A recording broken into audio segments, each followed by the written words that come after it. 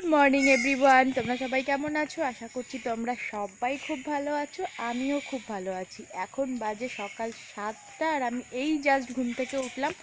এখন আমি বর্তমানে বাপের বাড়িতে আছি। কাল বিকালবেলাতে এসেছি, কিন্তু কালকে কিছু শর্ট শর্ট বানানোর ছিল।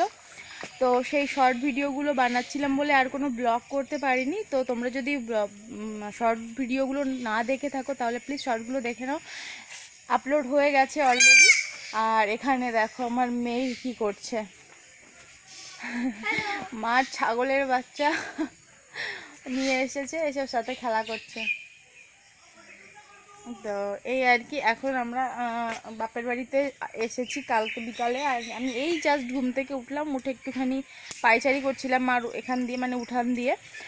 আর উঠানের পাশেই হচ্ছে রাস্তা, আর রাস্তা দিয়ে অনেক গাড়ি যাচ্ছে, আর একটু আওয়াজ হচ্ছে, সকাল সকালই গাড়ি ফাড়ি যায় তো ওর জন্য আমি একটু বাড়ির দিকে যাচ্ছি। না হলে প্রচণ্ড আওয়াজ হবে আর তোমরা শুনতে পারবে না আমার কথাগুলো। আর আমি এখন একটুখানি বেরাবো মানে কালকে বিকালবেলা এসেছি তো, আর আমি এখন আবার যেতে হবে আমাকে বাড়ি, শ্বশুরবাড়িতে আবার যেতে হবে, কারণ কালকে জন্মাষ্টমী যেহেতু, তো কিছু বাজার করার আছে, সেইগুলো করব। অনেক কেনাকাটি আছে, পুজোর বাজার করতে হবে, কালকে জন্মাষ্টমীর পুজো বাড়িতে। তো সেই সমস্ত কেনাকাটিগুলো করব বলে আজকে একটু তাড়াতাড়ি বেরিয়ে যাব সকালবেলা চা, বিস্কিট খেয়ে। আই থিঙ্ক সকালবেলার খাবারটা খাবে কি না জানি না হাজব্যান্ডও এসেছে। আমরা তিনজনই এসেছি। সকালবেলার খাবারটা খাবে কি না জানি না, যদি খাই ভালো, না খাই তো বাড়ি গিয়ে খেতে হবে, কিছু করার নেই, কারণ বাড়ি গিয়ে আবার রেডি ফেডি হয়ে বা যাব বাজারে। আমি ভাবছিলাম এখান থেকে খেয়ে বেরাবো, খেয়ে স্নান টান করে বাড়ি গিয়ে মার মানে শাশুড়ি মায়ের কাছ থেকে লিস্টটা নেব যে কী কী আনতে হবে, নিয়ে তারপরে বাজার চলে যাবে একবারে। এটা আমার প্ল্যানিং এখন দেখা যাক হাজব্যান্ড কী বলে, তো দেখা যাক কী হয় না হয়। আর এখন দেখা যাক, চলো মা কি করছে। আর আমার মেয়ে তো এখানে দেখালাম। ও সারা দিন এই বদমাইশি। কালকে আসার থেকে ওদের পেছনে পড়েছে, তো সেইভাবে ওদের পেছনে লেগে আছে পুরো। এই হচ্ছে প্রবলেম আর কিছু না।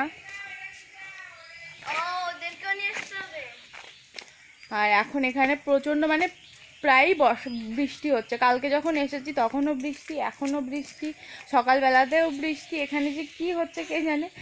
আমাদের রাজস্থানে মানে জয়পুরে এতটা বৃষ্টি হয় না। বৃষ্টি হয় যে সাত আট দিন লাগাতার হওয়ার পরে স্টপ হয়ে যায়।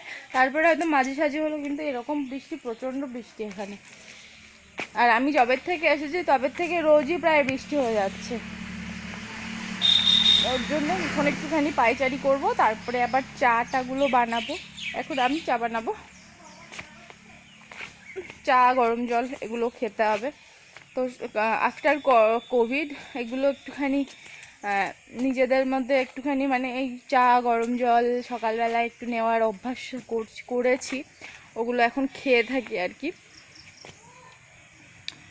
তো চলো এখন আর বেশি বক বক করছি না, আবার পরে কথা বলছি। তো এই দেখো সকালবেলা ঘুম থেকে ওঠার পরে ও বাচ্চা দুটোর সাথে কীভাবে খেলা করছে, পুরো বাচ্চা দুটোকে পুরো চটকু মটকু করে দিচ্ছে যখনই সুযোগ পাচ্ছে তখনই বাচ্চা দুটোকে নিয়ে চটকাচ্ছে। কালকে যখন কাল না দু তিন দিন আগে শুনেছে যে ছাগলের বাচ্চা হয়েছে তো তখন থেকে ও দেখার জন্য ব্যস্ত যে ছাগলের বাচ্চা দেখব। কিন্তু আসার টাইম হয়নি তো কালকে আসার থেকে এই পর্যন্ত এখনও পর্যন্ত মানে বাচ্চা দুটোকে পারলে নিয়ে শুয়ে থাকতে পারলে ভালো হয় এরকম একটা পরিস্থিতি। তো সেই থেকে ও বাচ্চা দুটোর পেছনে এইভাবে পড়ে আছে আর বলছে যে যে কালো বাচ্চাটা ওটা ও নিয়ে যাবে আর যে হোয়াইট হোয়াইট যার উপরে স্পট আছে ওটা নেবে না কারণ ওটাই ওর ভালো লেগেছে। এটা নিয়ে ও সিধা জয়পুরেই যাবে। এই আর কি। আর এখানে দেখো, বাড়িতে ঘোষ কাকু এসেছে। ঘোষ কাকু দুধ নিয়ে যাচ্ছে। তো মার তো গরু আছে, তোমরা তো এর আগের ব্লগে দেখেছ। তো সেই গরুরই দুধ মা এখানে বিক্রি করে ঘোষের কাছে। আর এই মোচাটা দেখতে পাচ্ছ? এই মোচাটা মা আজকে রান্না করবে। আমাদের গাছেরই কলা মানে কলা গাছের মোচা, নিজেদের গাছের মোচা আর কি। আর এই দেখো, মা এখান থেকে ফুল তোলে। তো আমি আজকে একটুখানি এসেছিলাম এই দিকটাতে তো ভাবলাম একটু আমিও ফুলটা তুলে দিই। তো দেখো, সব কাজ করা আমার হয়ে গেছে। ফুল টুল তুলে দিয়েছি মাকে, আর এখন দেখো আমি চলে এসেছি গরম জল কর- করতে। তো গরম জল করে এদেরকে দিলাম, এরা এখন বসে খাচ্ছে। আমার সাথে আমার হাজব্যান্ডও এসেছে, তোমরা তো জানোই। তো জল খাওয়া কমপ্লিট মানে গরম জল খাওয়া কমপ্লিট হয়ে গেছে। এখন আমি সোজা চলে এসেছি চা করতে। আজকে চাটা সকালবেলায় আমিই করলাম, অন্যদিন মাই করে দেয়। যখনই আসি মাই চা করে দেয়, কিন্তু সকালবেলায় আমি আজকে চা করলাম। আর সাথে বিস্কুট আর মুড়ি সহযোগে চা খেলাম। এখনও জলখাবার হয়নি, সকালবেলায় ব্রেকফাস্ট বানাবো, তার আগে চাটা খেয়ে নিলাম। আর এখন দেখো আমি চলে এসেছি ব্রেকফাস্ট বানানোর জন্যে। আমি বানাচ্ছি না, মাই বানাবে, শুধু আমি ময়দাটা মেখে দিচ্ছি। আজকের ব্রেকফাস্টে হবে লুচি আর ছোলার ডাল। ছোলার ডালের মধ্যে মা একটু আলু দিয়ে করেছিল মানে আলু দিয়ে ছোলার ডাল রান্না করেছিল। খেতে খুবই টেস্টি হয়েছিল। আর আমি আলু দিয়ে করি কিন্তু মা যেভাবে করেছিল অতটাও টেস্টি হয় না আমার। তো খুবই টেস্টি হয়েছিল। আর এখানে দেখো আমি ময়দাটাকে ময়ান দিচ্ছি। এর একটা ডো তৈরি করব লুচির জন্যে। তো দেখো আমার ডোটা কিন্তু বানানো হয়ে গেছে। এখন আমি এর লেচিটা কেটে দেব মাকে। মা ওইদিকে ডালটা বানাচ্ছে। তা মা ডালটা হয়ে গেলে মা আমাকে বেলে দেবে। আমি ফটাফট করে লুচিগুলো ভেজে নেব। তো সকালবেলায় আজকে এই বানানো হয়েছিল ছোলার ডাল আর লুচি। খুবই টেস্টি হয়েছিল। এরকমভাবে আমি ছোলার ডাল অ্যাকচুয়ালি করি কিন্তু মা যেভাবে করে, আলু দিয়ে ছোলার ডালটা করেছিল। খুবই টেস্টি হয়েছিল খেতে, সাথে লুচি। তো এই দেখো ব্রেকফাস্টটাও গোছানো হয়ে গেছে। এখন আমি আমার হাজব্যান্ডকেও খেতে দিয়েছি। ব্রেকফাস্টটা করেই বাড়ি যেতে হবে মানে শ্বশুরবাড়ি যেতে হবে। কারণ কালকে তো জন্মাষ্টমী, জন্মাষ্টমীর বাজার করতে যাব আমি আর আমার হাজব্যান্ড ওই জন্যে তাড়াতাড়ি করে ব্রেকফাস্টটা করে নিচ্ছি। মা বলছিল লাঞ্চ করে যেতে, কিন্তু লাঞ্চ করতে গেলে প্রচুর লেট হয়ে যাবে। আর আমাদের এখানে দুটো পর্যন্ত মার্কেট খোলা থাকে। তার জন্য ফটাফট ব্রেকফাস্টটা করেই বেরিয়ে যাব। তো দেখো, এখানে আমার মেয়েও খেতে বসে গেছে।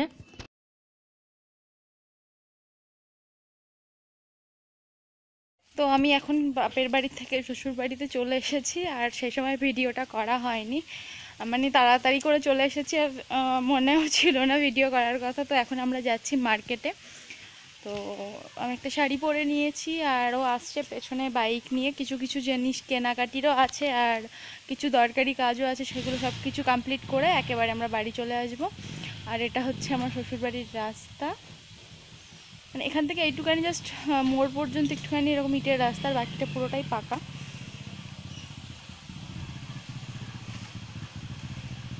আজকে একটু রৌদ্র উঠেছে, সকালবেলায় বৃষ্টি হচ্ছিল, প্রচণ্ড বৃষ্টি।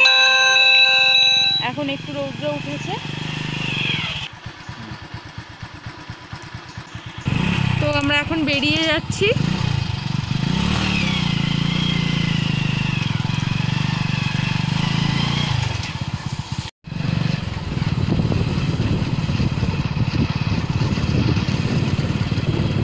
তো বাপের বাড়ি থেকে শ্বশুর বাড়িতে এসে ফটাফট করে একটুখানি হাত মুখটা ধুয়ে মার কাছ থেকে কালকের কি কি জিনিসপত্র আনতে হবে সেই সমস্ত লিস্টটা বানিয়ে নিয়ে এখন আমি আর আমার হাজব্যান্ড বেরিয়ে পড়েছি মার্কেট যাব বলে। তো যেতে যেতে দেখো বাইরের ভিউটা কত সুন্দর লাগছিল। তো ভাবলাম একটু ক্যাপচার করি।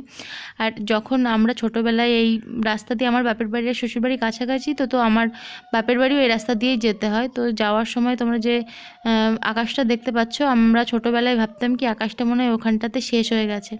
কোনোদিন বড় হয়ে দেখতে যাব তো দেখার তো আর সুযোগ হয়নি। আর দেখো, এখন আমরা অলরেডি চলে এসেছি মার্কেটে মার্কেটে এসে আমার হাজব্যান্ড ওখানে মুদির বাজার করছে। মানে দশকর্মার জিনিস, তারপরে ঘরের কিছু মুদিমাল শেষ হয়ে গেছিল, সে সমস্ত সব জিনিস কিছু জিনিসপত্র নেব। তারপরে ফল টল কেনাকাটি করে সোজা বাড়ি চলে যাব।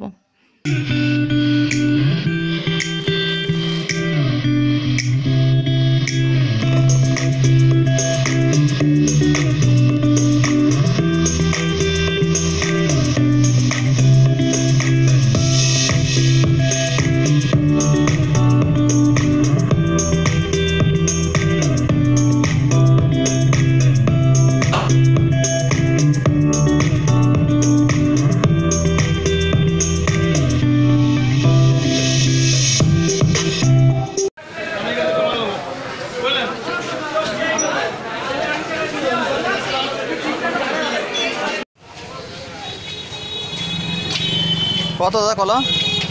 মাত্র চল্লিশ টাকা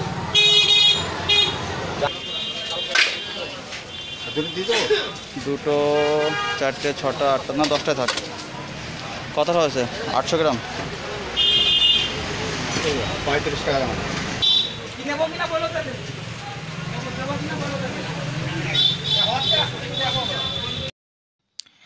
তো বাড়ি চলে এসেছি এখন আমি একটুখানি পনির বানাচ্ছি, তার জন্য দেখো এখানে লেবুর রসটা বানিয়ে নিচ্ছি। আর দুধ আমার অলরেডি বয়েল করা হয়ে গেছে। বাজার থেকে এসে একটুখানি মানে ফ্রেশ হলাম, কারণ বাইরে থেকে এসে তো আর সেইভাবে এখন আর ঘরে ঢোকা যায় না। তো একটুখানি ফ্রেশ ট্রেশ হয়ে তারপরে রান্নাঘরে সোজা চলে এসে দেখো এখন পনির বানাচ্ছি। দুধটা আগেই বয়েল করে রেখেছি, এখন জাস্ট দুধটা একটু ফুটে উঠবে, এর মধ্যে দিয়ে দিলাম লেবু। লেবুর রসটা দিয়ে আমি ছানা তৈরি করব। ছানা তৈরি করে মানে পনির মতো বানাবো। পনির অ্যাকচুয়ালি এইভাবে তৈরি করে না, এটা ছানারই ছানাই বলতে পারো। ছানার তরকারি মতন বানাবো বলে এটা আমি রেডি করে এখন রেখে দিচ্ছি। সন্ধ্যাবেলার দিকে পনিরের মানে ছানার তরকারিটা বানাবো আর কি। তো দেখো দুধটা কিন্তু খুব সুন্দরভাবে ফেটে গেছে। এখন আমি এটাতে একটা কাপড় মানে ছানাটাকে একটা কাপড়ের মধ্যে নিয়ে এটাকে ভালো করে নেড়ে নেব। মানে নিংড়ে নেব, এর মধ্যে যাতে একটু জল না থাকে। তারপরে একটা ভারী কিছু চাপা দিয়ে আমি চলে যাব আরও কিছু কাজ আছে, সেই কাজগুলো আমি করতে চলে যাব। হাই ফ্রেন্ড, এখন বিকাল পাঁচটা পনেরো হয়েছে। আমি একটু দেখো রাস্তার থেকে এসেছি ঘুরতে, আর আমার সাথে এসছে আমার ভাইপো। দেখো আমার সাথে আছে এই যে। আমরা দুজনে আমরা বাজার থেকে চলে এসেছি দুপুরবেলায়, বেলাতেই। তা দুপুরবেলা আসার পরে বিপাশা আবার একটু নিজে বাড়িতে একটু পনির বানানোর চেষ্টা করল প্রথম টাইম ফার্স্ট টাইম এটাই ও পনির বানানোর চেষ্টা করল। এর কোনো বাড়িতে কোনো পনির বানানো হয়নি। যা পনির বানানো মানে আমরা যা পনিরটা খাই সেটা কিন্তু আমরা বাজার থেকে কিনে এনেই খাই। তা আজকে বিপাশা বলল, দেখি আমি কোশিশ চেষ্টা করে দেখি পনিরটা বানাতে পারি কি না তো ও কোশিশ চেষ্টা করেছে বানানোর জন্যে। তার খানিকক্ষণ পরে স্নান টান করে খাওয়া দাওয়া করে শুয়েছিল, তারপরে এখন বলছে একটু মাথা হালকা ব্যথা ব্যথা করছে, তার জন্য ও আর ব্লগটা করতে পারল না। তা ব্লগটা আমি করলাম, তা আজকের ব্লগের এখানেই এন্ড করছি। তো ভালো থেকো তোমরা সবাই, সুস্থ থেকো। আর যদি আমাদের ব্লগটা তোমাদের ভালো লাগে, তাহলে লাইক করো সাবস্ক্রাইব করে দিও চ্যানেলটাকে।